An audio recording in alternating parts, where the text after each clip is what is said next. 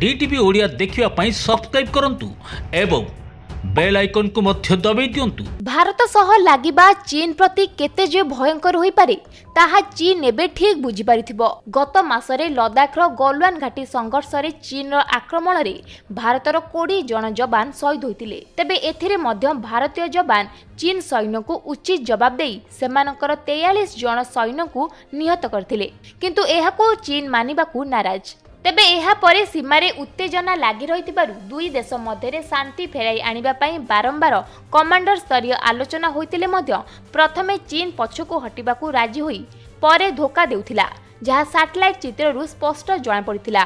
ଏହାପରେ ଚୀନର ଦୋମୁହାଁ ନୀତି ସାମ୍ନାକୁ ଆସିଥିଲା। ତେବେ ଚୀନର ଏଭଳି ନୀତି ଯୋଗୁଁ ଭାରତ ସରକାର ଚୀନ ଉପରେ ଡିଜିଟାଲ ଷ୍ଟ୍ରାଇକ୍ କରି ଚୀନର ଅଣଷଠି ଆପ୍କୁ ଭାରତରୁ ବ୍ୟାନ୍ କରିଦେଇଥିଲେ ଯାହା ଚୀନକୁ ଏକ ଶକ୍ତ ଝଟକା ଲାଗିଥିଲା। ଏଥିରେ ଚୀନ ଶହେ କୋଟିର କ୍ଷତି ସହିଥିଲା। ତେବେ ଏହା ପରେ ମଧ୍ୟ ଅର୍ଥନୈତିକ ଦୃଷ୍ଟିରୁ ଚୀନକୁ ଘେରିବା ଲାଗି ଭାରତ ସରକାର ଦ୍ୱିତୀୟ ପର୍ଯ୍ୟାୟରେ ଚୀନ ସହ ସମ୍ପର୍କରେ ଥିବା ଆଉ ସତଚାଳିଶଟି ଆପ୍କୁ ନିଷେଧ କରାଯାଇଛି। ସେଥିରେ TikTok lite Helo lite SHAREit lite Vigo Live lite ଆଦିର ନାମ ରହିଛି। ସେଗୁଡ଼ିକ ହେଉଛି ପ୍ରଥମ ପର୍ଯ୍ୟାୟର ନିଷିଦ୍ଧ ହୋଇଥିବା ଆପ୍ଗୁଡ଼ିକର କ୍ଲୋନୋ ଭର୍ସନ୍ ବର୍ତ୍ତମାନ ଭାରତରେ ଚୀନ ବିରୋଧୀ ମାହୋଲ କିଛି ଏମିତି ରହିଛି ଯେ ସରକାରୀ ହେଉ ବା ବେସରକାରୀ ହେଉ ସବୁ ଚୀନ ସହ ଜଡ଼ିତ ସମ୍ପର୍କକୁ ଭାରତରେ ବନ୍ଦ କରିବାକୁ ନିଷ୍ପତ୍ତି ନିଆଯାଉଛି ଧୀରେ ଧୀରେ। ଏହା ଛଡ଼ା ଚୀନ ଉପରେ ଅର୍ଥନୈତିକ କ୍ଷେତ୍ରରେ ନିର୍ଭର କରିବା ପରିବର୍ତ୍ତେ ମେକ୍ ଇନ୍ ଇଣ୍ଡିଆ ଓ ମେଡ୍ ଇନ୍ ଇଣ୍ଡିଆ ଆଦି ବ୍ୟବସ୍ଥାକୁ ଆଗକୁ ବୃଦ୍ଧି କରିବା ଫଳରେ ଚୀନ କମ୍ପାନୀର ମନୋବଳ ଧୀରେ ଧୀରେ ଭାଙ୍ଗିବାକୁ ଲାଗିଲାଣି। ଭାରତରେ ଚୀନର କମ୍ପାନୀ ଆଉ ଆଗକୁ ବଢ଼ିବ ନାହିଁ। ଯାହାଫଳରେ ଚୀନ ଏବେ ଏହି ଅସୁବିଧାକୁ ନେଇ ବହୁ ସମସ୍ୟା ଘେରରେ ରହୁଛି। ଗଲୱାନ ଘାଟିର ସଂଘର୍ଷ ପରେ ଭାରତରେ ଥିବା ଆପ୍ ସହ ଚୀନ କମ୍ପାନୀଗୁଡ଼ିକୁ ନିଷେଧ କରାଯାଉଛି। ଯାହାଫଳରେ ଚୀନର ଭବିଷ୍ୟତ ଦିନକୁ ଦିନ ଅନ୍ଧକାର ହେବାରେ ଲାଗିଛି।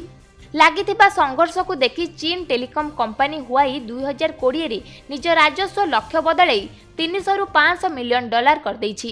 ପୂର୍ବରୁ ଏହି କମ୍ପାନୀ ସାତଶହରୁ ଆଠଶହ ଡଲାର କରିବାର ବ୍ୟବସ୍ଥା ରଖିଥିବା ବେଳେ ଯାହାକୁ ନେଇ ଏବେ ବିଭିନ୍ନ ପ୍ରକାର ସମସ୍ୟା ଉପୁଜୁଛି।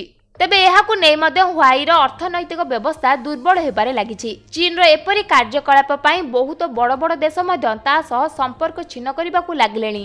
କାରଣ ଚୀନର ହ୍ୱାଇ କମ୍ପାନୀ ଉପରେ ଚୀନର ଆଧିପତ୍ୟ ଅଧିକ ମାତ୍ରାରେ ରହିଛି। କିଛି ଦିନ ପୂର୍ବରୁ Britain Chinese company Huawei technology ଉପରେ ଆଗାମୀ ସାତ ବର୍ଷ ପାଇଁ ପ୍ରତିବନ୍ଧକ ଲଗାଇ ଦେଇଥିଲେ। ଏହି ପ୍ରତିବନ୍ଧକ ବ୍ରିଟେନର ପ୍ରଧାନମନ୍ତ୍ରୀଙ୍କ କହିବା ଅନୁସାରେ ହୋଇଥିଲା। ସେ ଘରୋଇ ଟେଲିକମ୍ କମ୍ପାନୀକୁ ସିଧା ସିଧା କହିଦେଇଛନ୍ତି ଯେ ଦୁଇ ହଜାର ସତେଇଶ ପର୍ଯ୍ୟନ୍ତ ତାଙ୍କର five G company Chinese company ହ୍ୱାଇର ସବୁ କାର୍ଯ୍ୟକୁ ହଟାଇବା ପାଇଁ। ତେବେ ଏହିପରି ଭାବରେ ଯଦି ଚୀନରେ ଏପରି ବ୍ୟବସ୍ଥା ଲାଗି ରହିବ ତେବେ ଚୀନ ଆଗକୁ ବହୁତ ଅସୁବିଧାର ସମ୍ମୁଖୀନ ହେବାକୁ ପଡ଼ିବ। Bureau report DTV Odia. ଘରେ ଟେନସନ ବାହାରେ ବି ଟେନସନ ପୁଅର ଚାକିରି ପାଇଁ ହଉ ଝିଅର ବାହାଘର ପାଇଁ ହଉ।